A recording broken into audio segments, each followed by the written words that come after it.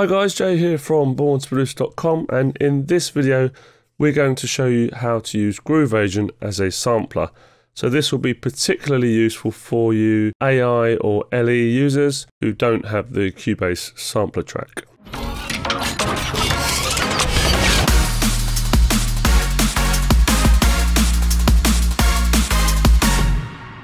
So the first thing to do is load up Groove Agent. So we go right click in the space here, add instrument track, and you want to go to drums and click on Groove Agent and click on add track.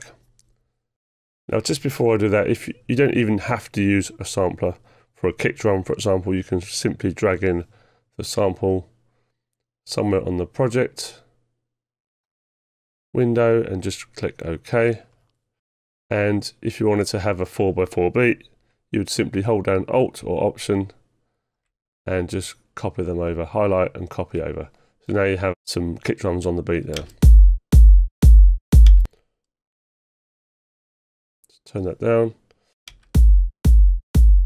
So there you go, that's that. I'm just going to undo that.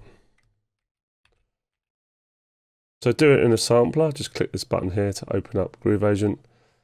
Again, I'm going to bring the same sample, but this time I'm going to drop it into Groove Agent, pad 1. And you want to use either the top one to place the sample or the second one down, which means it will replace the sample that's already there. you don't need to use the bottom one, that's for, that's for putting many samples on one pad. We don't need to do that. So I'm just going to use the top one. And now when I press my C1 key on my MIDI keyboard, I can now trigger this. If you want it on C3, which is what the standard root key is on the Cubase sampler track. So if you want it to be on C3 like it is in our videos, then simply come over to page 4 up here, get the same kick, and just chuck it on C3. Now I trigger this sample with C3.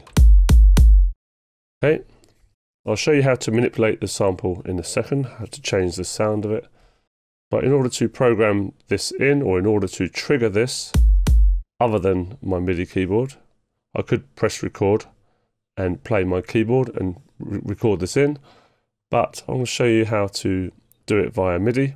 So you would need to draw a MIDI event in, so either come to the draw tool at the top or press number 8 as a shortcut on your keyboard or press Alt or Option, hold it down, it turns into a draw tool like so and we're just going to draw uh, empty MIDI event, double click it. Again, holding down Alt or Option, we're just going to program in some notes. You'll notice that that's not quite on the grid. I just need to have my grid snap turned on and then just drag this over. And now I'm going to just put this on each beat. You can see the beats at the top, 1, 1.2, 1.3, 1.4. 2, 2.2, 2.3, etc, etc. So now we have 4x4 beats, one on each beat. So now that information there is just MIDI. It's no, there's no audio. It's just a bit of information saying play this note here, turn off this note here, play this note here, turn off this note here. That's all it is. So when we play it, what it's doing is just playing the sample on C3 and you can see the sample playing here from left to right. So I'm now going to replace that kick sound with one of the ones we use in our beginners tutorial and that is our leads, no our plucks, probably that one, I can't remember but it doesn't matter which one.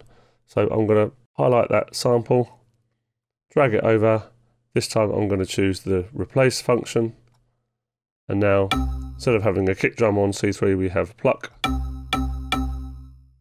but at the moment it's only on C3. I'm playing other keys on my keyboard and nothing's happening. By the way, you can change volume and pan here. But before I show you how to change the pitch and have it mapped across the keyboard, I'm just going to show you you can change the tuning of this if you want by clicking and dragging the coarse dial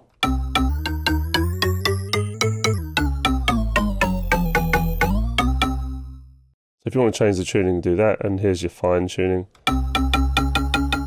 Just that is just up or down 100 cents. Control or Command click to reset any function. So for now, if we go to pitch, I'm going to show you how to map this sound so it plays across the keyboard.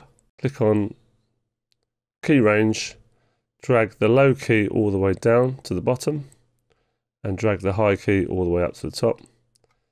You can see that it's all changed and mapped across these, all of these windows. As you can see, it's all been sampled for you. I'm now playing my MIDI keyboard.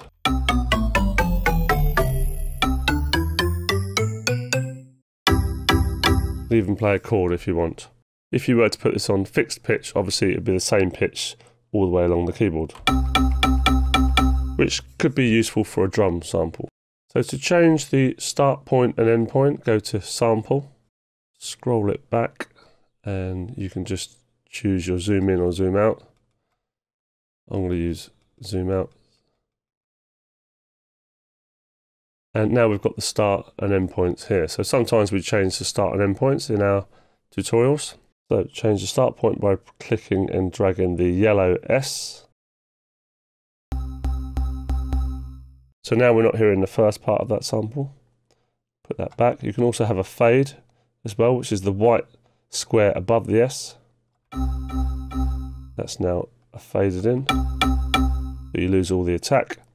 And the same with the end, you can have this sample shorter, but you get a nasty click. So if you are going to do that, set the fade out, which is the white block above the S.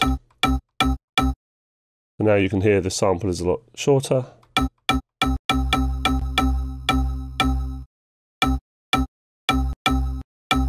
Okay, that's that. The amplitude, you can change the attack and delay here if you want to.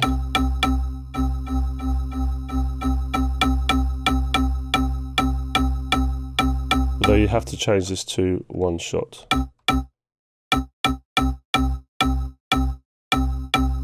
And you can change the fade as well, however you want it. But I wouldn't worry about that. I would just do my start and endpoints here under the sample tab. You have got a filter, you just need to switch it on. You probably don't need this because we do all the EQ on the actual channel itself. but just let you know that that's there. And that's about it really, that's how you use Groove Groovasion as a sampler.